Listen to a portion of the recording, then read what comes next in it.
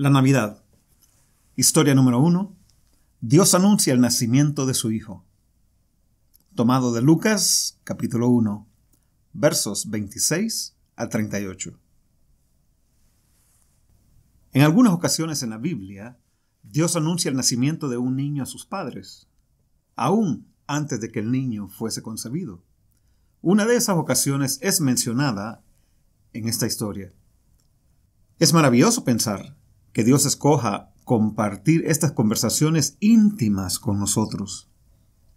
Fue una conversación privada entre María, una muchacha virgen de un pequeño pueblo en Galilea, y un poderoso ángel llamado Gabriel. Conocimos a Gabriel por primera vez allá en el libro de Daniel, cuando Dios envió a Gabriel para ayudar a Daniel a entender dos diferentes visiones proféticas. Esta historia contiene no solamente el anuncio del nacimiento virginal de Jesús, sino también detalles específicos del milagro de su concepción. Ambos de ellos completan la profecía. La primera pista que Dios nos dio acerca de este nacimiento virginal sucedió allá en Génesis, capítulo 3, verso 15, cuando Dios declara que la simiente de la mujer heriría la cabeza de la serpiente. Más tarde, Dios le da una profecía más específica al profeta Isaías.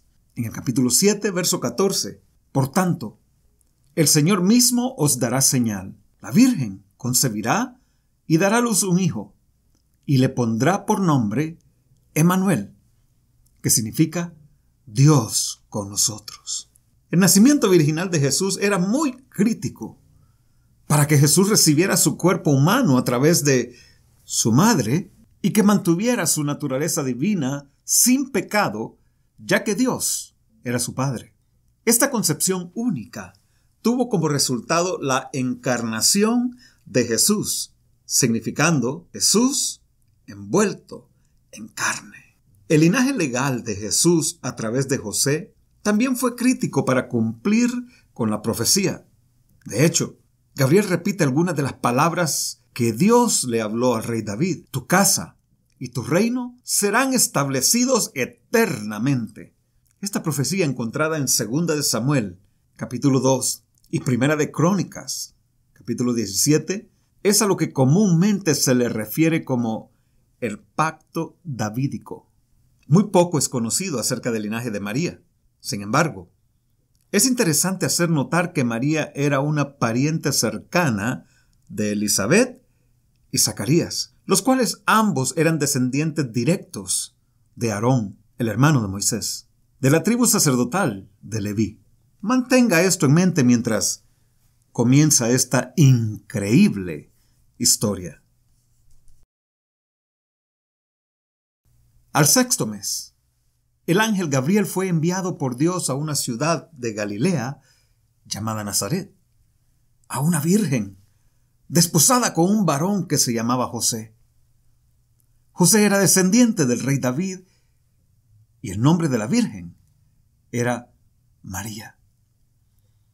Entrando el ángel Gabriel a donde María estaba, dijo, Salve, muy favorecida, el Señor es contigo, bendita, tú eres entre todas las mujeres.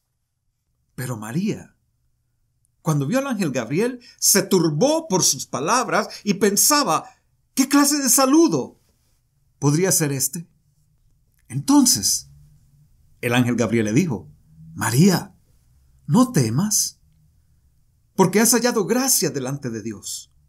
Concebirás en tu vientre y darás a luz un hijo, y llamarás su nombre Jesús. Jesús será grande y será llamado Hijo del Altísimo. El Señor Dios le dará el trono de David, su padre. Reinará sobre la casa de Jacob para siempre y su reino no tendrá fin. Entonces María preguntó al ángel Gabriel, ¿Cómo será esto? Pues no conozco varón, soy virgen. Respondiendo el ángel Gabriel le dijo, el Espíritu Santo vendrá sobre ti y el poder del Altísimo te cubrirá con su sombra. Por lo cual, también el santo ser que va a nacer será llamado Hijo de Dios. Y aquí también tu parienta Elizabeth, la que llamaban estéril, ha concebido hijo en su vejez, y este es el sexto mes para ella. Pues nada hay imposible para Dios.